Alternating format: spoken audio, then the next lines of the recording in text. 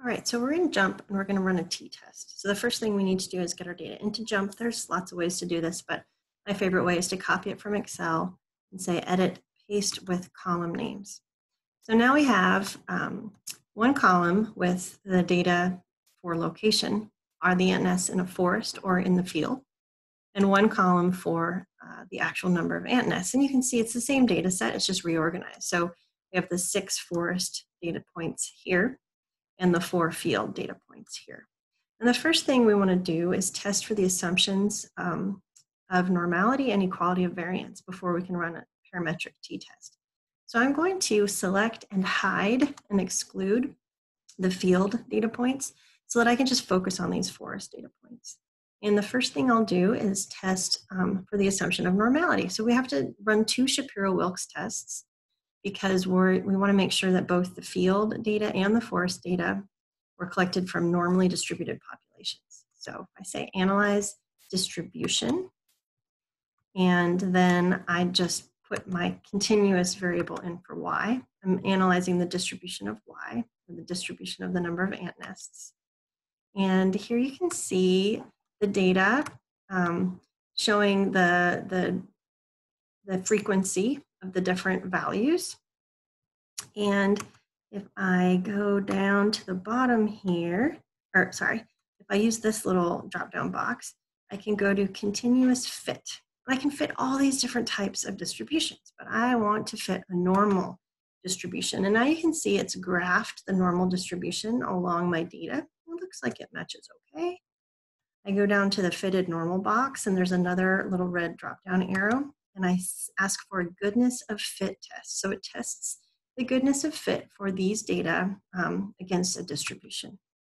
And so this fitted normal shows me a Shapiro-Wilks W value of 0.955 and a p-value of 0.78, which is great.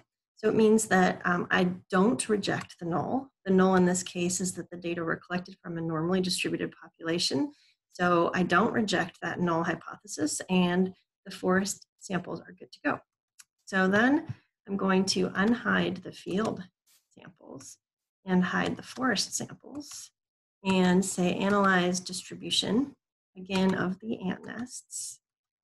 And this time I get a slightly different, looks more skewed uh, distribution, but let's just plot continuous fit normal distribution and go down to the bottom and ask for a goodness of fit test.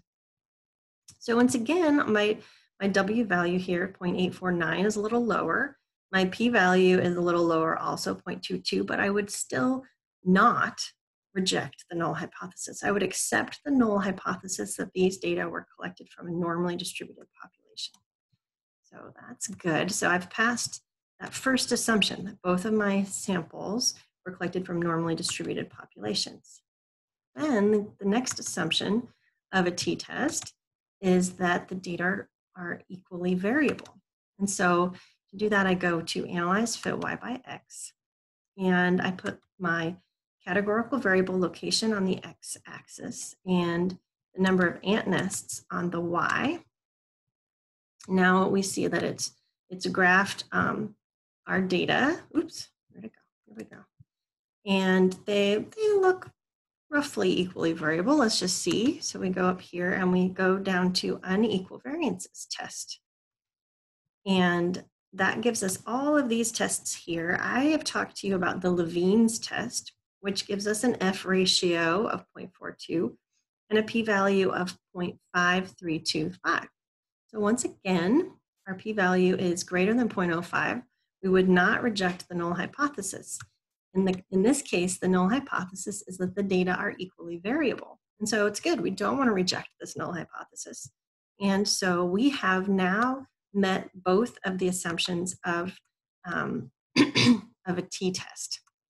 So to run the t-test, we would go up to analyze, same thing, fit y by x.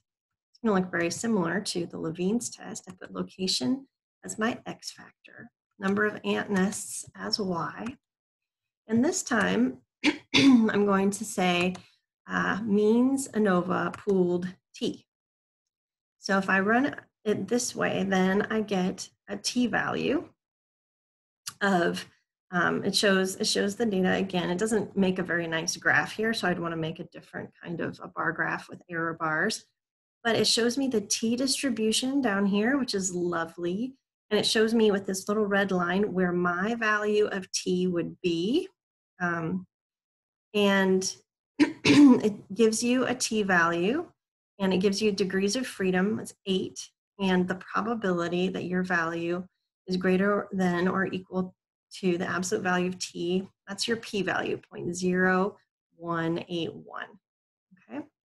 And it also gives you an ANOVA table and some other stuff. But we're just gonna focus on this pooled t-test right now. So uh, that's how you'd run a t-test. And in this case, we would reject the null hypothesis that the means are equal. We would say there's a sig there are significantly more ant nests in the field um, than in forests and we would say that our statistics, a t of with eight degrees of freedom is negative 2.96, and our p-value is 0.0181. All right, so that's how it works.